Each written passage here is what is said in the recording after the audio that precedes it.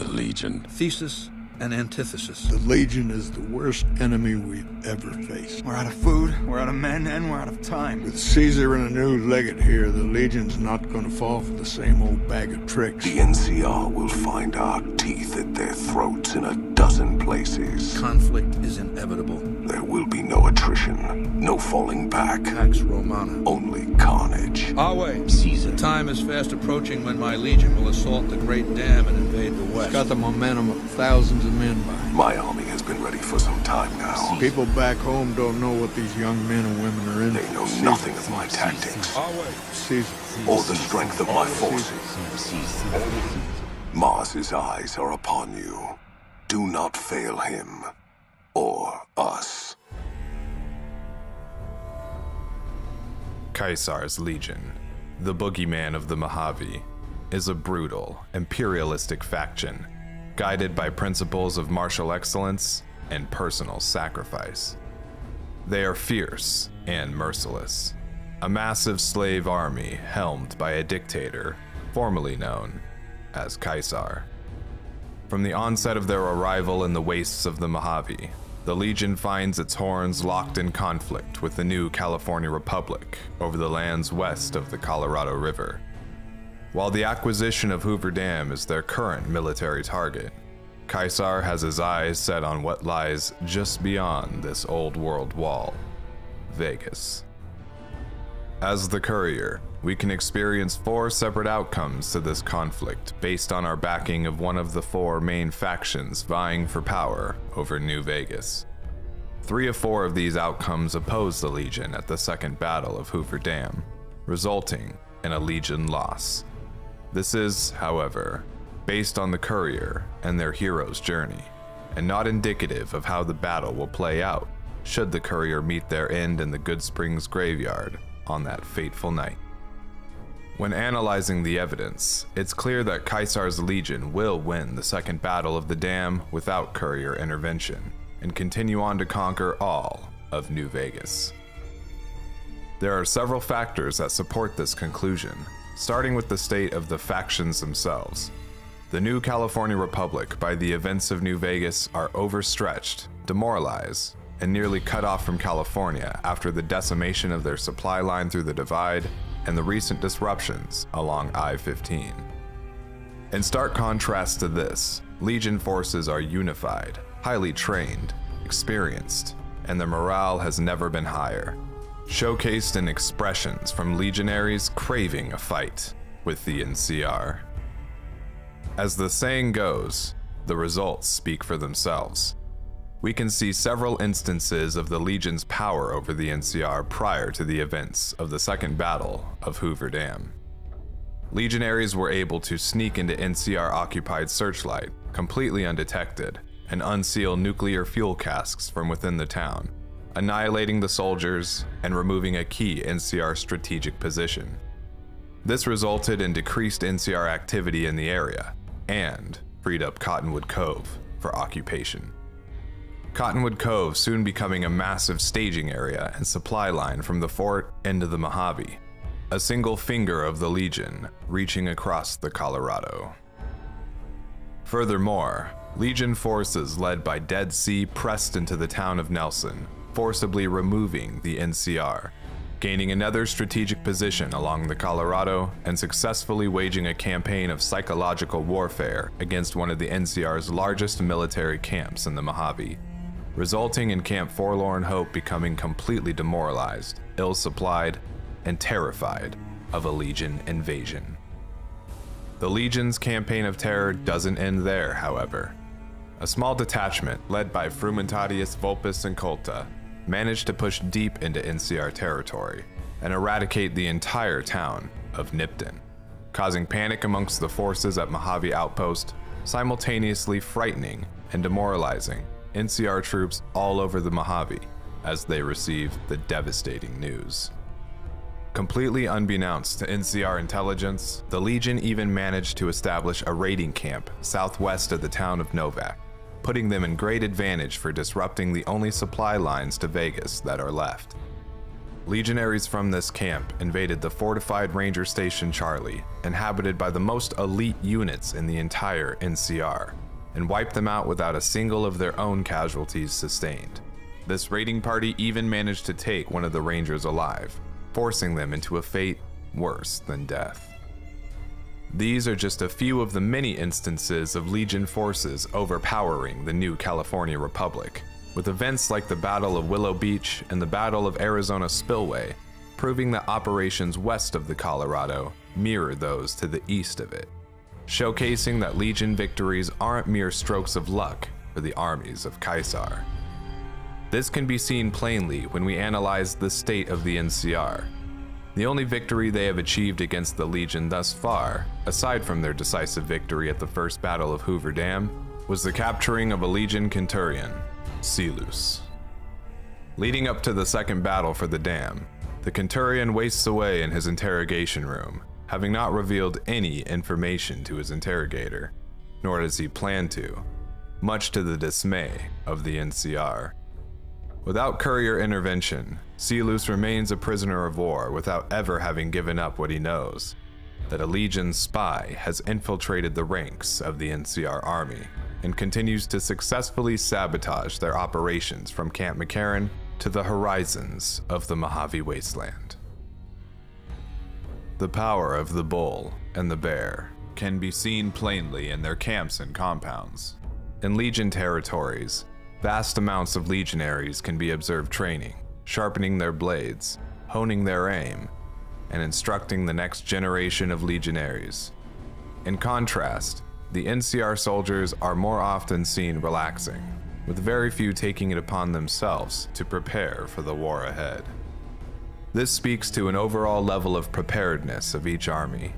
An extreme example of NCR torpidity can be observed in a group of soldiers stationed at Camp Golf who have remarkably poor combat performance and attitude. The lackadaisical behavior earning them the moniker of misfits. Despite his best efforts, their acting sergeant can't seem to whip them into fighting shape, even failing to instill the slightest amount of military discipline into his troopers. Sergeant McCredie ultimately resorts to outsourcing this job to the courier in hopes that someone, anyone, can instill a fighting spirit in these youths. Examples such as this are not seen in the Legion, as legionaries who fail to perform will not survive their training. It should also be noted in the case of the Misfits that the techniques taught to them are remarkably simple and are foundational basics for any soldier, such as alternating their fire and throwing grenades properly. It's not surprising, however, seeing as how most NCR troopers only receive two weeks of basic training before their deployment to the Mojave. Although it's clear and evident that the soldiers of the Legion have vastly superior discipline and martial prowess, strength of the individual is not the deciding factor in war. When it comes to the Second Battle of Hoover Dam, the strategy of each army must be analyzed, as even the strongest army will fail if its strategy is ineffective. This is demonstrated extremely well during the First Battle of Hoover Dam. At the time, the Legion army was helmed by the Malpais legate, Joshua Graham, its first commander. While a strong warrior and a legend to his men, his understanding of strategy applied to smaller, less advanced tribals and not standing armies, with several fortified positions, supply lines, and advanced technologies. While his tactical know-how is mirrored in that of his opponent for this battle, the incompetent and hawkish General Oliver, the Legion had a clear advantage in this surprise assault an advantage that was soon stripped by the tactical genius of Ranger Hanlon, whose vast experience in warfare against all manner of enemies, from tribal raiders to the armies of the Brotherhood of Steel, paved the way for an NCR victory against the armies of Caesar's Legion. The Malpais Legate's strategy was to march his troops along the top of the dam in a triplex acies formation, overwhelming the NCR forces with their speed, tenacity, and sheer numbers. Hanlon crippled this approach by ordering his sharpshooters to take out Legion commanders in the back rows, causing confusion amongst the Legion ranks due to a sudden lack of battlefield leadership.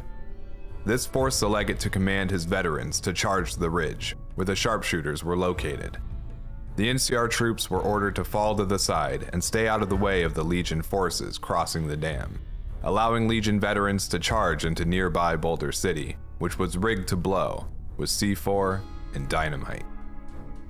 As soon as the bulk of legionaries entered the splash zone, the town went up in smoke, dealing a crushing blow to the Legion and forcing a full rout back to Arizona. This defeat was a wake up call to Legion leadership and was not taken lightly by Caesar. On the way back from Nevada, Graham met with Caesar, who was enraged at his defeat.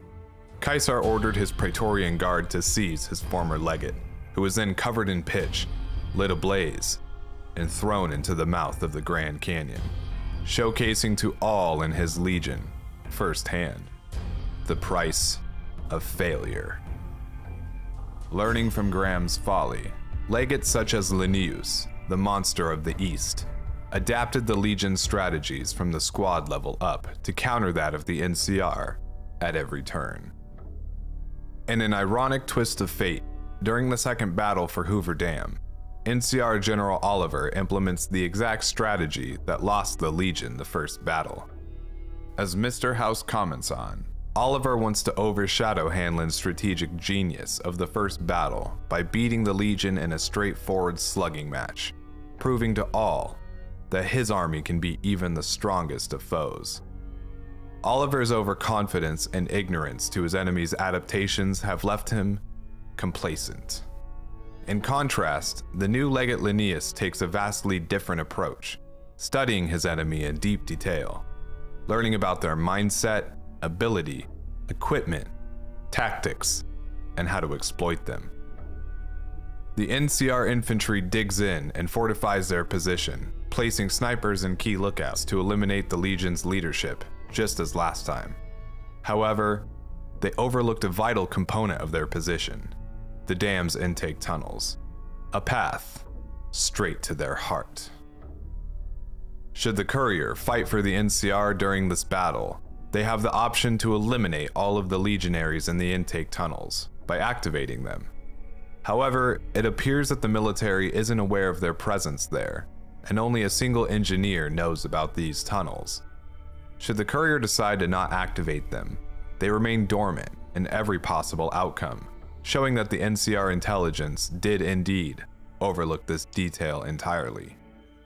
These intake tunnels allowed the Legion to find their way into the dam's interior, surpassing the front line and surprising the NCR from their rear flank, completely disrupting any chances of reinforcing the dam top.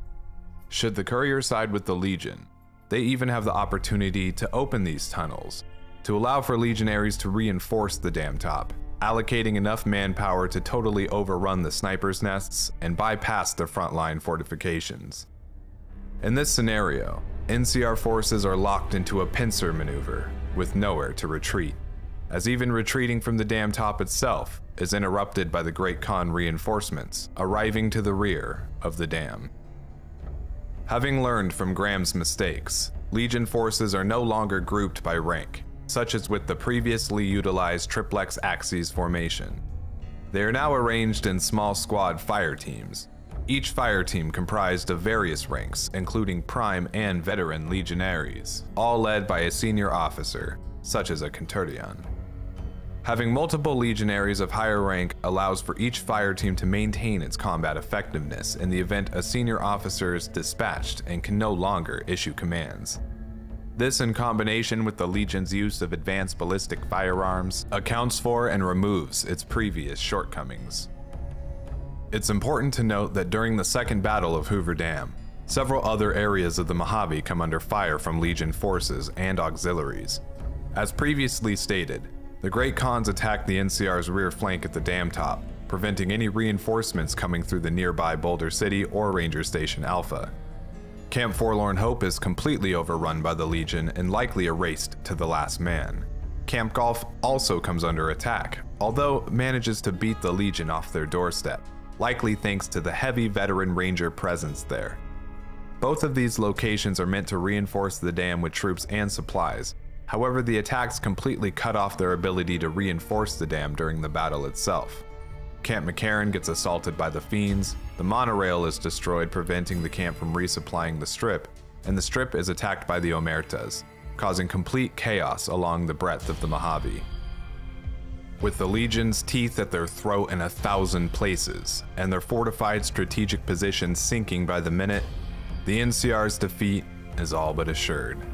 All that's left is the final room General Oliver's compound. The bodies of countless legionaries litter the entrance, speaking to its dangers and to the effectiveness of Oliver's guard detail. However, while it is massively fortified and booby trapped to the teeth, it would only be a matter of time before the Legion reached Oliver. By nature, the Legion achieves its goals at any cost, including that of human life, and would send wave after wave of troops in here until nothing and no one stood between Lanius and Oliver. A tactic that the NCR is all too familiar with, having used the same methods to overpower the better trained, equipped, and fortified forces of the Brotherhood of Steel at Helios 1. It's certain that the Legion would have plenty of troops to spare in order to accomplish this task as well, as even when the courier doesn't side with them and the Legion takes heavy losses, they are shown to have plenty of reserve forces to halt the courier's advance into Lanius' camp. Furthermore, there is no evidence suggesting that they would achieve anything other than a decisive victory in this battle. It is likely that a significant amount of their casualties would come from clearing Oliver's compound and battling against his personal guard of armored heavy troopers and veteran rangers in this small, enclosed space. But seeing as how Oliver does not retreat from here, despite having the means, the battle would ultimately end with General Oliver decorating a cross. Suffice to say, a Legion victory is all but assured as it stands now. Should the courier decide to align with them and assist with the myriad of tasks that bolsters the Legion's strength, such as allying with the Boomers and with the Enclave remnants, dispatching President Kimball, fixing the Legion's artillery weapon, and destroying the Securitrons under the fort, then the Legion, who are already a force to be reckoned with, will become truly unstoppable.